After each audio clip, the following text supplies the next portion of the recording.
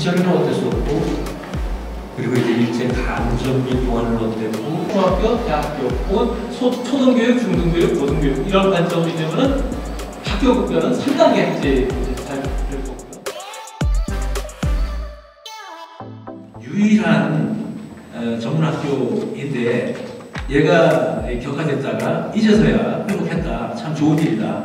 근데 뭐 5년도에 고성적 분실을 냈다라고 하는 거 가장 거리가 있는 것은 일본의 고등분과 시험, 행정과, 서학과 이런 것들. 는 항상 미국 윌슨 대통령이 주창한 민족 자결주의를 말하는 것이 소위 정서로 되어 온것 같습니다.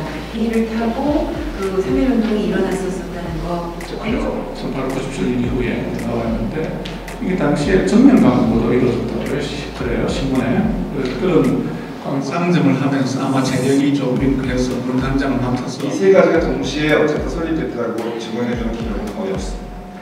1946년에 최상선 씨가 쓴 책에 보면 이런 글이 나오는데요. 쭉 보시면 어, 편집서로 한인 경영인사소로서는 가장 최신 수업이었다고 이렇게 판단이 되고요. 그래서 이제 그쪽으로만 생각을 했지만 또 어, 그 당시에 100년 전에 이 언어를 통해서 사회를 바꿔보자. 여기는 조금 더 편안해지지 않았을까 이런 생각을 해봤습니다. 추덕사 대웅전인데 1308년에 실제로 건축이 됐다는 기록이 정확하게 나와 있습니다. 그에 대한 걸 고민하지 않았기 때문에 이제 벽돌을.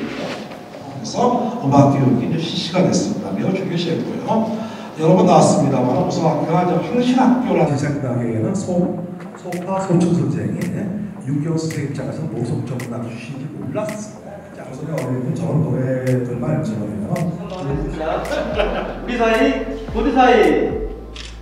네, 한 번 더 하겠습니다. 고드 사이.